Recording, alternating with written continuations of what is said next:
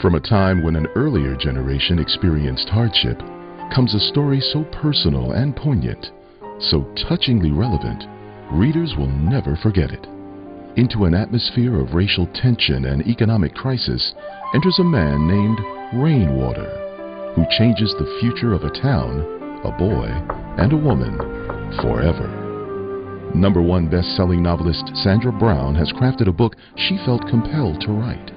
Inspired by a true family incident, it's unlike anything she's written before. All the previous books that I've written came from my imagination. The story of rainwater I found in my heart.